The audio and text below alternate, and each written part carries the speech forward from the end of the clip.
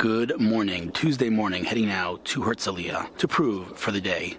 But first, I have breakfast with Chuck Robbins, the global CEO of Cisco. That's to be nuts. Following that, I have a couple of meetings. Lunch with Sigmento, a company that was recently acquired that was on the vlog a couple of weeks ago in a very spontaneous meeting after I met with Orit Chashai from Brayola on the way out in the hallway. I met these guys and we set to meet lunch to meet for lunch today. So that's going to be really interesting. And uh, yeah a lot going on with proof so all in all it's going to be a great day. I was going to bring the drone but decided against it. Too many meetings. Let's do this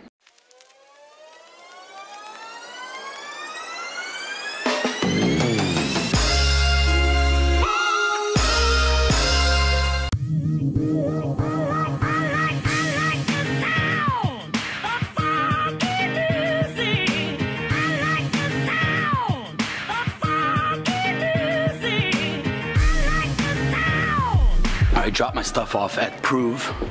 Now I'm heading to the Ritz here in Herzliya to uh, breakfast with the CEO of Cisco. No idea how many people are going to be there. Truth is, I was asked by the Cisco team to give some support on social, but now I just got an email that their comms team is a little bit holding back on that for reasons I can't disclose.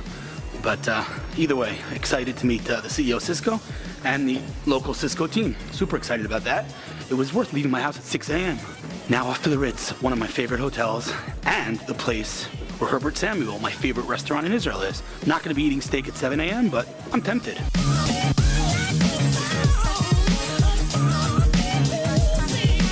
We are here bright and early, and I'm walking through the Ritz Carlton, and I hear Fuld. so I've been following this guy for a really long time. I got to tell you, from literally from I think from from day one when you launched the company, and you're one of those you're one of those companies in Israel. I'm going to tell you what people what people think. You're one of those companies in Israel that's kind of like I don't know what to call it, like one of these magical like black boxes. You know, like nobody really knows what is going on with this company. Everyone's heard of it. Everyone's heard of like when you say battery technology, first thing anyone says, StoreDot. But not many people really know the depth, including me, by the way. But I've been following, and I really want to know everything. But let's just start with who are you? Doron Myersdorf, You're the CEO of StoreDot. CEO, yeah, co-founder. Okay, Yeah. what is StoreDot? StoreDot uh, is doing materials. Uh, it's material science, chemistry. Uh, we have today about 30 PhDs that are synthesizing new materials uh, with the goal to uh, really change the world of energy storage, namely batteries for smartphones, for cars. That uh, the focus is to charge in, in a couple of minutes. So, again, from my basic understanding of StoreDot, you know, it's not just car, it's all kinds of batteries, and you can charge in seconds. Right. Potentially you can charge in seconds. The reason we are not commercializing seconds is the size of the charger. Like for a smartphone, you would need a big brick to charge the phone. I got it. Okay. All right. Cool. So I mean, the, the bottom line is like this, right? Uh, You know, as an entrepreneur who's been an entrepreneur longer than I probably knew what the word entrepreneur meant, I'm assuming you know that the biggest challenge isn't necessarily building a technology, building a product. The biggest challenge is building something that people need, a pain point that people have. Right. Today, in our lives with this thing, the biggest pain point, hands down, and I think every single person you'd ask in this room would agree to this without any debate, battery technology. Quite frankly, it sucks. It hasn't, it hasn't evolved, it hasn't changed, it hasn't just moved in forever. And in fact, one might say it's even gone in the opposite direction. Not really, but if you look at the old phones, they lasted weeks, and now these things last a day, maybe. So there's a real need. Everyone, every consumer needs better battery technology. Um, and you guys, so smartphones is, is chump changed. I mean, the big the big thing here is you know cars, right? Right. So tell me about that a little bit. Exactly. So in the cars, uh, it's really a market maker. Where in the phone, it's a it's a very nice to have feature, and Right. everybody wants it and think it will change their life. But the business of electric vehicle is still nascent. It's still not there. Right. And the reason it's not there is is because you cannot charge. You need to charge overnight, or there's not uh, enough charging stations and so forth. So uh, what we thought is that if we can bring the technology that was originally developed for the smartphone, uh, somehow bring it into the world of electric vehicle, this will really be a market maker. So I have two things to say to you. Number one, where were you in the days of Better Place? Where were you? We needed you. Not we. I wasn't involved in Better Place, but more importantly, I think the, the question that everyone's thinking here is, when when is Elon Musk gonna gonna work with you guys? That's what I, that's all I want to know. So you know the the goal of most of the industry, including Elon, by the way, is to uh, really improve the energy density. So he wants to give you 400 miles instead of 300 miles. Uh, what StoreDot is doing is actually giving up some of the energy. There is some trade-off, but we want to give it to you in minutes. Ah, so you know why wouldn't you want to have an electric vehicle? It's uh, you know it's cleaner, it's twice more efficient, and faster. it's faster. It's the whole experience is, is, is much nicer. It's Yeah. cleaner. It's, more you- elegant. You feel like you are actually helping the environment Right, when you're driving right, such right. a vehicle. It's true. So, so once the, the ease of charging will also be there, then you know there'll be the hockey stick of, of electric vehicles. Right. Have you experienced a Model X? You ever driven in a Model X? I did, yes. It's an amazing, especially the insane mode, right? And then, then Unbelievable. you know, it's yeah. just unbelievable. That, that, I mean, the Model X specifically, the SUV, but also the Model S. I mean, they're just crazy cars. In any case, um, so tell me just a little bit about the company. How many people work in the company? How big are you? So we are 85 people. As I mentioned, uh, many of them are with uh, PhDs. Uh, the rest are also masters engineers. White robes. White robes. Uh, yeah, and uh, half of our office space is a lab. Uh, you know, we, we are next to WeWork, so uh, you know. we- Herzliya, right? Herzliya, uh, and um, really it took us a long time to really assemble, you know, top talent. Uh, these are people from universities from all over the world. You know, from MIT, Berkeley, from London, from Moscow. Um, You raised a lot of money. a lot. We need more. How much did you raise? we raised about 110. That's a lot of money. Yes. I think objectively speaking, 110 million dollars is a lot Yeah, of money. but- Mm-hmm. But more important than the amount are your investors. You have some big names on board. Right. Who are your investors? Yeah, so we started with Samsung, and then we had uh, Roman Abramovich, and then uh, you know some Israeli names also, uh, uh, Leon Recanati, uh, Stef Wertheimer, uh, these guys. Last uh, round was led by Daimler, and just a couple of days ago we announced a partnership and investment from TDK. I didn't hear that. Yeah, it's uh, it was a press release. And not doing my job if I didn't hear that. Yeah, well, you're too busy. A few days ago, literally? Yeah, Oh, so that's okay. yeah, So on I'm- Thursday. On Thursday. Yeah, Interesting. yeah. On, Thur- on Thursday, today's Tuesday. So it was literally a few days. Okay, so all right. So I don't, I'm not so mad at myself for missing that. Okay, wow, that's amazing. So 110, you said? Yes. Unbelievable. And, and uh, I don't. You can. We can say. You can say you don't want to talk about this, but is the company valuation public information? No, but you can assume that you know a company that raised uh, roughly 100 million is not worth 200 million. Right, of course. So a couple of hundred million dollars. So you're the next unicorn, is what I'm hearing. Okay, amazing. Listen, uh, like I said, I've been a fan. I've been watching this thing. I, this this meeting does not count. I have to come to the labs and see this thing work because if you could charge my phone fast, I'm not. I'm bringing a sleeping bag. I'm, I'm just moving in. We'll have to change your battery, right? And we'll have to uh, do some modifications on the power management. Oh boy. uh, so we won't do it to your phone, but we can show you other phones. Are you? Uh, maybe this is something we shouldn't talk about on camera. We can talk about this off camera. but I'll ask, and you can feel free to ignore this question. But are you in touch with PowerMat? PowerMat uh, is not that relevant for us because, by definition, anything that is not connected, hardwired, is going to charge slow. Right, but the question is, and maybe I'm maybe I'm dreaming here, but somehow if they can adopt your technology, because they're everywhere, right? They're in the iPhone, they're in Starbucks, they're everywhere. Right, right. I feel like it's. I mean, they're they're they're here. Yeah. You know, I mean, I I don't know. Maybe you thought about it already and, and No, we axed the thought idea. we did talk to them many times. Uh, uh, it's like uh, you know competing industries. Uh, we are not Ah, okay. competing. We are completing each other. Um, because their investor is one of my favorite people. You know, Ari Mergi from M of Systems. course, yeah, Amazing, he's a good friend. Oh yeah, Uh, Oh, we go okay. way back. Right, Of course you, of course you Uh, go I was back. a VP at M Systems, right? You were? Yeah. Oh, I didn't know that. VP, Oh, get out of. Operations and technology. I did not know that. Do you know JJ Sussman? Yeah. Oh, it's a good friend.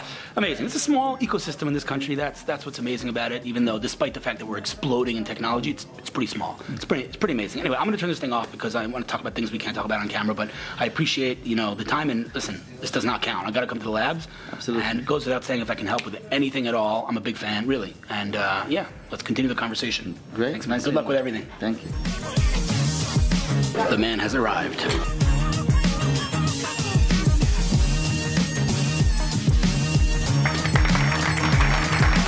All right, the event just ended. Heading back to Prove now. I mean, when you hear the CEO of Cisco speak, you understand what it means to be the CEO of a company like Cisco. Like, I mean, a, gi- a giant. Unbelievable insights, unbelievable sharpness, unbelievable amount of knowledge. Anyway, it was a cool event. Unfortunately, I was told by the marketing team, who originally called me to make some noise about the event, not to make some noise about the event, so I wasn't allowed to record most of his talk. But uh, yeah, it was pretty cool. He did talk about Israel being its second most important market outside of the U.S. in terms of M&A, acquisitions and stuff. That was pretty cool. But it was, all in all, it was a pretty cool event. Seems like a brilliant dude. And now back to proof. Interesting turn of events. My friend Jeremy Wimpheimer saw my Facebook post that I was at the Ritz this morning. Turns out he does their PR. He just spoke to the uh, manager here and she told me to come by and sit with her. Hopefully get her on camera, maybe meet the GM of the hotel. The Ritz in Herzliya is definitely my favorite hotel in Israel. Love this place. So I kind of love the internet. So I was here this morning meeting the CEO of Cisco, and turns out that my good friends Dina and Jeremy Wimpheimer do the PR for this hotel. And they said, why don't you go back to the hotel and meet this lovely woman? Who are you? I'm Tal, Tal. Koresh, and You're- I'm the uh, PR manager of the hotel. Okay, so I, of course, jumped at the opportunity to meet Tal because, again, as I've said many times, I love this hotel. Literally, like the nicest hotel in Israel. I love it. And behind me is Herbert Samuel, the best restaurant in Israel. Just a big fan. And so we just sat and we schmoozed. That means talked in Yiddish. And yeah, I mean, just tell me a little bit about, like, in two minutes, because my next meeting is here and I don't want to make him wait, but two minutes. What is the story? What is the Ritz? Give me some background here. How long has it been around? Who's, just give me a little, a little information on the hotel. Well, the Ritz-Carlton Herzliya just celebrated four years now. Four. Yes, Wow. in December. So, uh, and as you said, we have the amazing Herbert Samuel restaurant. We have an exclusive spa. Wow. Of course, uh, we have 187 rooms in the hotel. Out of them, yeah, uh, actually 197, but we have around 80 suites. All kind of different suites. We have one bedroom, two bedroom, penthouse, duplex. And the views here are and the view magnificent. Yeah, you can look around. And We're gonna look the- around. Yeah, on the view, but the the room are very big and very comfortable, and of course the Ritz Carlton service and the brand, Yeah. and I think all in all, it's uh, can't really say it, but it's the best hotel in Israel. You're not objective, but I can Yeah, say that. I know. No, it really is. It's definitely like the premium. Like this is the bar. Like this sets the bar. It's unbelievable. I'm not just saying that because I've said it before. By the way, they know that. I, I talk about the Ritz all the time. Anyway, listen. The bottom line is, as I said to you, I'd love to help in any way. Jeremy, thank you for introducing us. We're, this is just, I'd say, the kickoff meeting. We're going to continue this conversation for sure. Sure. And uh, yeah, I'm looking forward to. I'm going to try to convince my lunch meeting. I was supposed to meet at Bistro to come here and eat Of here. course you to- will. But the thing is, with startups, they have a burn rate, and th- this is a this is a pricey place. You have to, to keep the burn rate down. It's not that pricey. I'm just kidding. it's know. worth it. The steak is. It is. All right, go do your work. It was fantastic to meet Thank you. you. Looking forward to collaborating and just Thank kind of you. letting the world know about this place. It's really awesome. You're doing a great job. Thank you. As, Thank you as a hotel much. and as you, an individual. Thank It's great very to meet you. Thanks again, Jeremy. you. Thank you. All right, bye bye. Herbert Samuel trying to find me a table. This place is jammed. The best steak in the country, hands down.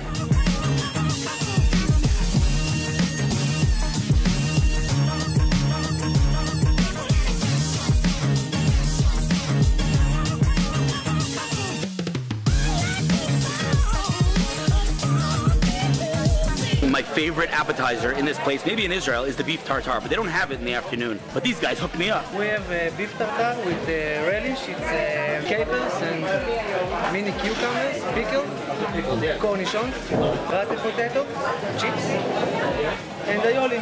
Very classic. This one it's a tomato salad. Tomato salad. Mixed tomatoes, It's amazing. tasty. Love it. Everything is fresh. Beautiful. Thank you. Thank you, enjoy. So they're bringing over like a 45 ounce prime rib, aged for 40 days steak. The thing here is absolute heaven. Look at this. I think it is fair to say that we are in absolute food coma right now. How is that? How is that steak?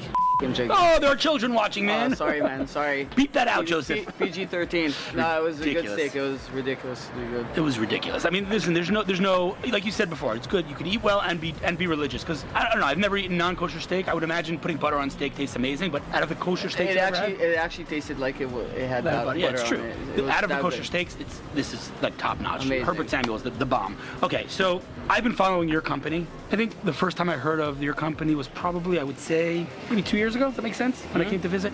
All right, so who are you? What do you do? What's your story? Give me the background. Well, um, we're Sigmento. We were Who are you? founded. I'm Yoav Maor. That's more And important. I'm the founder, of, one of the founders of Sigmento, together with uh, Izzy Cohen and my brother Jonathan. Uh, we founded the company three years ago, beginning of 2015. Our goal was to automate the process of uh, creating, uh, aggregating, collecting uh, um, product information.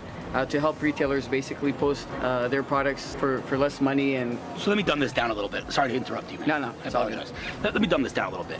No one, I mean, I shouldn't say no one, but obviously e-commerce, online shopping is big. That's no one. That's not not debatable. That's no one. No one can debate that. The process by which me, as a retailer, takes all my inventory and puts it on the internet, if I'm Mm. oversimplifying, is way too complicated. It's not that it's complicated. It's more that it, it, it's very time consuming and expensive. Right. Okay, that's that's a fair correction. I stand corrected. Not complicated. It's not hard to do. It just takes forever. Yeah. And it shouldn't take forever. We're in 2018. Why is this not an automated process? Sure. We have techn- technology, we have AI, we have all machine learning, all kinds of uh, image Yeah. recognition, all kinds of crazy stuff. Why does this take so long? Comes Sigmento and says, wait a second, we can automate many, many parts, many elements, many components Right. of this process. So what do you do exactly? Well, first of all, when we started, a lot of people didn't believe we can even achieve this goal. Okay. Uh, investors didn't want to touch it. They thought it's too risky.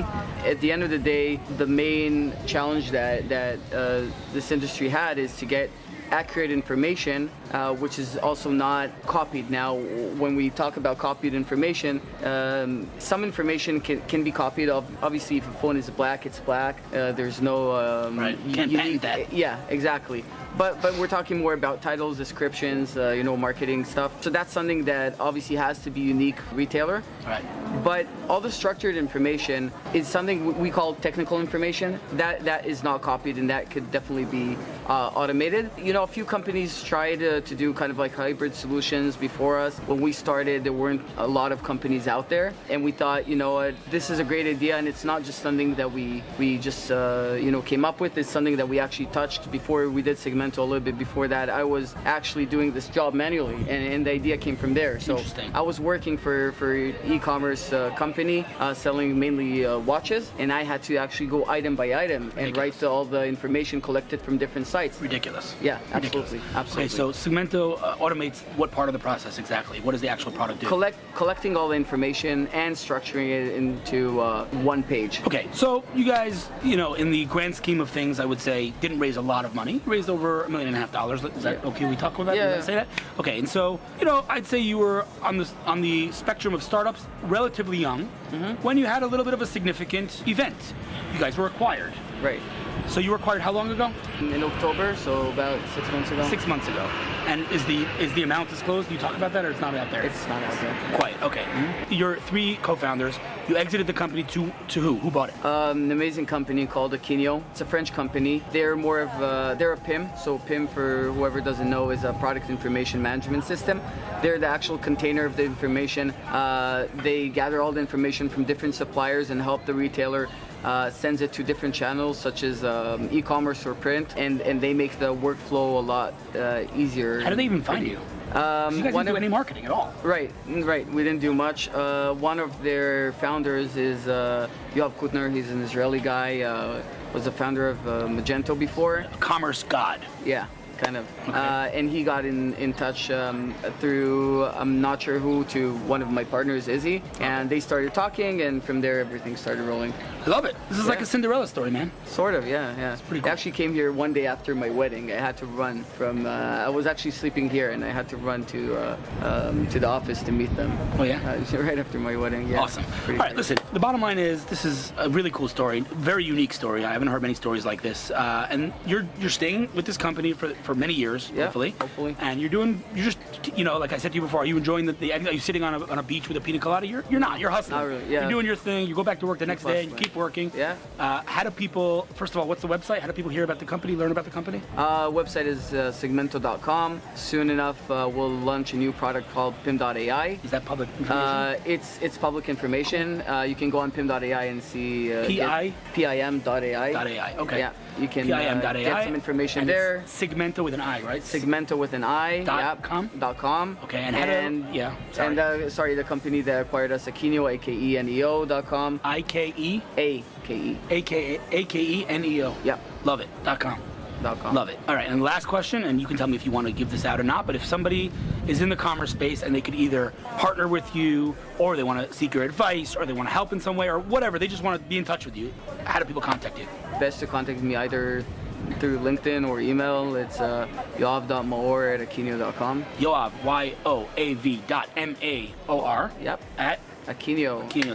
Yeah, Love it, man. absolutely. Fantastic. Well, thank you for that lunch. That was outrageous. Nah, thank you for picking that steak. That yeah, was great. by the way, because we were supposed to eat somewhere else. And uh, I Yeah. like Bistro. Bistro 56 is okay, but this place was. no, this place is amazing. So uh, yeah, but listen, the bottom line is, you know, as I said to you before, you let me know I can help. Uh, you know, I love the story. I've been following the company. Very cool stuff, and uh, it's like a, you know, it's like kind of one of those things. Where you're like, how has no one done this before you? Like it's so needed. I, that's what I asked myself many times. Love it, man. Well, good luck with everything, you. and thanks Thank you. again, and looking forward to our Thank next you. meeting, man. Thanks. Made it home. Great day. Tomorrow, I'm going to be at Google all day mentoring startups. And then I 24. Tomorrow's going to be awesome. See you then.